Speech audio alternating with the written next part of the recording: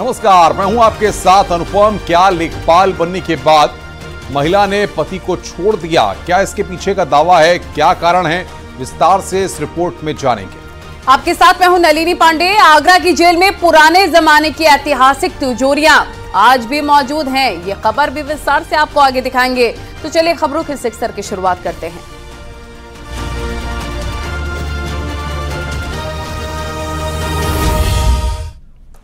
और इन सब के बीच मौसम का हाल आपको सबसे पहले बता दें कि बारिश के बीच हिमाचल प्रदेश के चंबा से दिल को दहला देने वाली तस्वीर आई है। वहाँ पर मड़ी महेश डल झील की ओर से जाने वाले रास्ते पर एक पहाड़ी दरक गई। सामने आई वीडियो में पहाड़ी से फुल स्पीड में पत्थर गिरते हुए नज़र आ रहे हैं। आप देखिए, धुएँ का ऐसा गुबार उठा, मानो कोई जोरदार बम ब्लास्ट हुआ हो। राहत की बात रही कि इस हादसे में जानमाल का कोई नुकसान नहीं हुआ।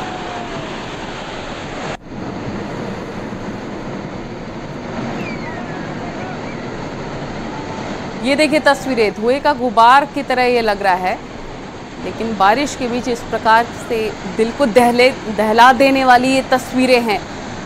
बड़ी महेश डल झील की तरफ़ अगर आप जा रहे हैं तो आपको अलर्ट रहने की ज़रूरत है। उस ओर जाने वाले रास्ते पर ही ये मंजर देखने को मिला है, जहाँ पर पहाड़ी दरक गई है।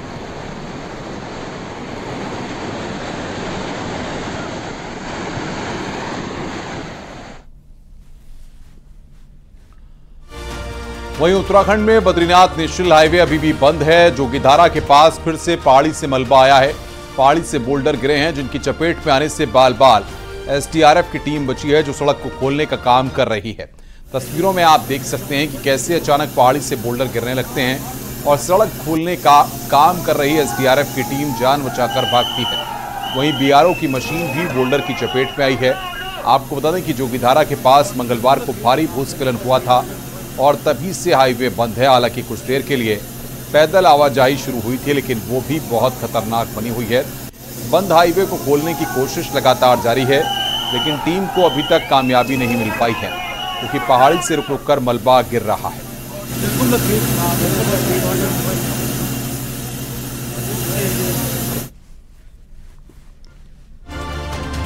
एसडीएम ज्योति मौर्य वाला केस तो आपको ज़रूर याद होगा। झांसी में भी इसी से मिलता जुलता एक मामला सामने आया है। यहाँ पर कारपेंटर का काम करने वाले एक शख्स का दावा है कि लेखपाल बनते ही उसकी पत्नी ने उसे छोड़ दिया। ये पूरा मामला क्या है? आइए आपको समझाते हैं। लेखपाल बनने के बाद जिस लड़की पर पति को छोड़ने का आरोप लगा, वो रिचा हमारे साथ मौजूद हैं।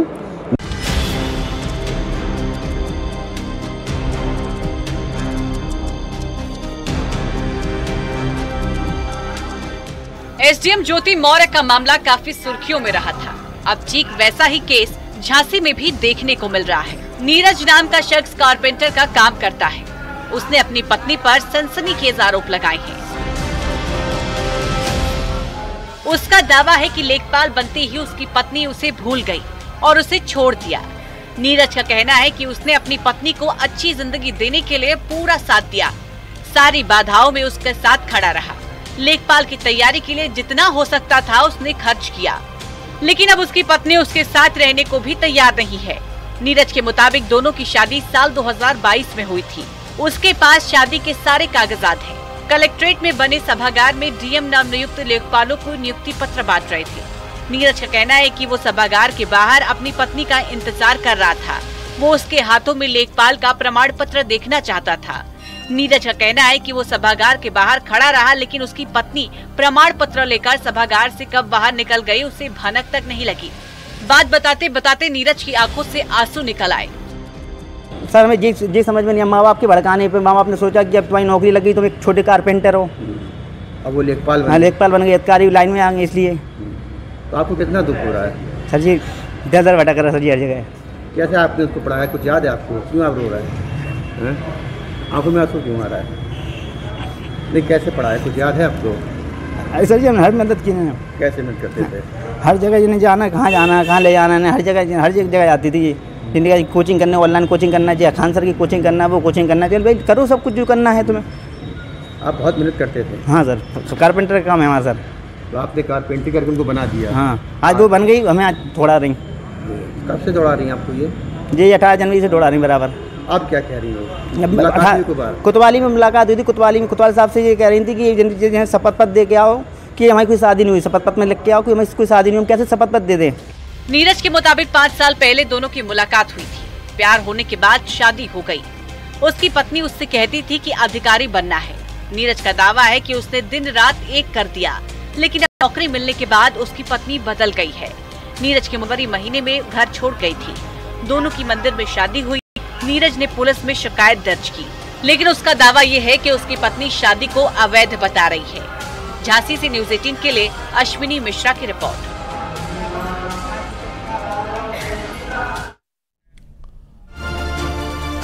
एक तरफ़ नीरज अपने दावे कर रहा है, वहीं उसकी पत्नी रिचा का भी पक्ष सामने आ गया है।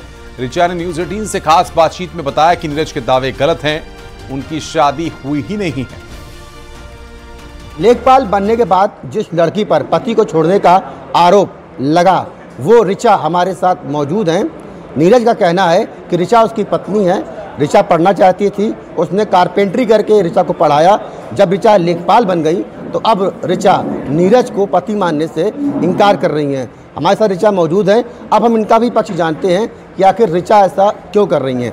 ऋचा पहले तो आपको बधाई हो, आप लेखपाल बन गई हैं। अब जब आप नीरज को आप कैसे जानती हैं? और नीरज अब ये क्यों दावा कर रहे हैं कि अब मेरे बाप लेखपाल बन गई तब आप उनसे दूरी बना रही हैं? सर, कुछ टाइम पहले से जानते थे तो उसके पास मतलब कुछ फ़ोटोज़ थी हमारी तो उसी को लेके वो ब्लैकमेल करता रहता था। तो हर बात हर बात में मतलब यही धमकी देता था कि तुम्हारी फ़ोटोज़ वायरल कर देंगे, तुम्हें बदनाम कर देंगे, तुम्हारे घर वालों को बदनाम कर देंगे और तुम्हारे मोहल्ले में आके हंगामा करेंगे तो उस चीज़ से हम डर जाते थे। तो उसकी कहने मान लेते थे? उसके बाद उसने वो फर्जी फ़ोटोज़ बनवाई कि ये कह के कि कोई पेपर्स वगैरह बनवाने हैं, उसमें लगने हैं और वो पेपर्स उसने वकील को पैसे दे के फर्जी तरीके से बनवाए थे और हमें कह दिया कि मतलब किसी चीज़ में लगनी है। इसलिए वो फ़ोटोज़ निकलवाई थी जबकि कोई शादी नहीं हुई थी, केवल मतलब पोज शादी का था, उसमें शादी कोई नहीं हुई है।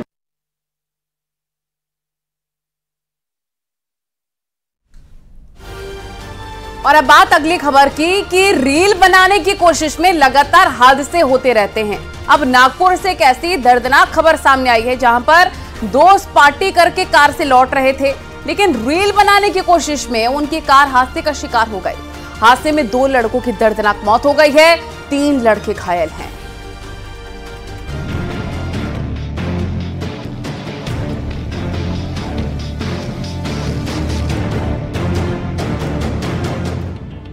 कार पलटी हुई है, सड़क की रेलिंग टूटी हुई है। अंदाज़ा लगाना ज़्यादा मुश्किल नहीं कि सड़क पर कितना भयानक हादसा हुआ है। और ये सब हुआ है ड्राइविंग के वक्त रील बनाने की कोशिश में। रील बनाने का चस्का युवाओं पर इस कदर हावी है कि वो अपनी जान को भी खतरे में डालने से पीछे नहीं हट रहे। रील मनोरंजन के लिए तो ठीक है लेकिन महज एक रील बनाने पर जब जान चली जाए तो ये बेहद ही चिंता में डालने वाला है। अब नागपुर में रील का नशा काल बनकर टूटा। हादसा 9 जुलाई का बताया जा रहा है। हादसे से पहले एक वीडियो सामने आया है। कार में दो लड़के दिखाई दे रहे हैं। एक ड्राइविंग सीट पर बैठा है तो दूसरा बगल में। बताया जा रहा है कि सभी एक बर्थडे पार्टी से वापस आ रहे थे और नशे की हालत में भी थे। लड़कों के जो हाव भाव दिख रहे हैं, उसमें वो बेहद खुश नज़र आ रहे हैं। सभी मस्त मौला अंदाज में हैं। खुशनुमा माहौल है। लड़के गाने गुनगुना रहे हैं। कार तेज रफ्तार से भाग रही है। इतने में कार चला रहे लड़के को जाने क्या सूझी? वो कार को टेढ़ा मेढ़ा चलाने लगा। इससे उसका संतुलन भी बिगड़ गया। इसके बाद तो हादसे की खबर सामने आई।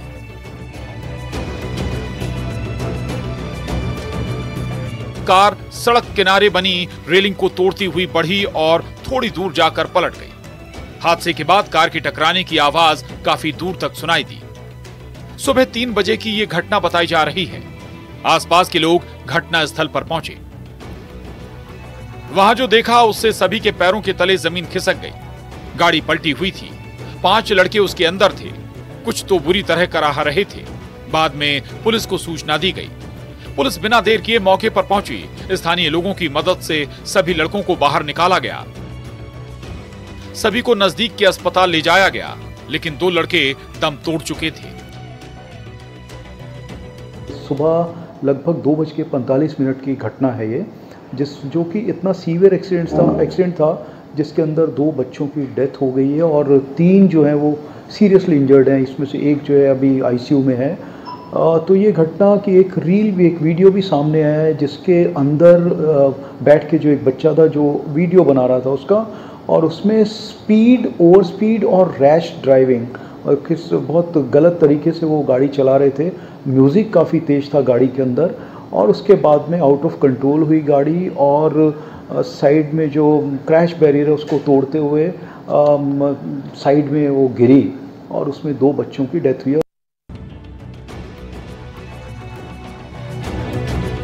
रील बनाने के चक्कर में पिछले दिनों कई घटनाएँ सामने आ चुकी हैं। कई लोग अपनी जान से हाथ धो चुके हैं, लेकिन फिर भी लोग मानने को तैयार नहीं। हाल ही में महाराष्ट्र के संभाजी नगर में एक लड़की खाई में गिर गई थी। उसका दोस्त वीडियो शूट कर रहा था, लेकिन लड़की से रिवर्स गियर लग गया और खाई में गिरने से उसकी जान चली गई। हाल ही में लखनऊ में पैसों की शर्त लगाने के चक्कर में स्टंटबाजी के दौरान ट्रैक्टर पलट गया। जिससे ट्रैक्टर में बैठे शख्स की दर्दनाक मौत हो गई।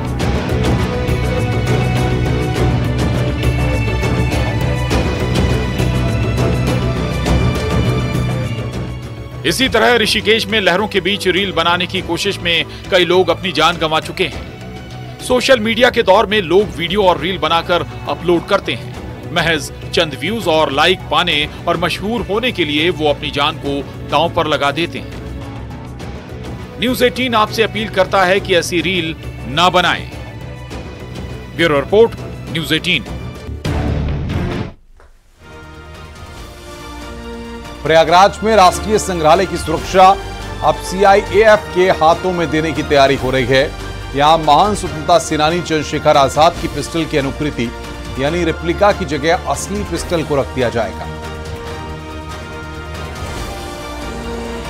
आज़ादी की लड़ाई में चंद्रशेखर आज़ाद के योगदान को कोई नहीं भूल सकता।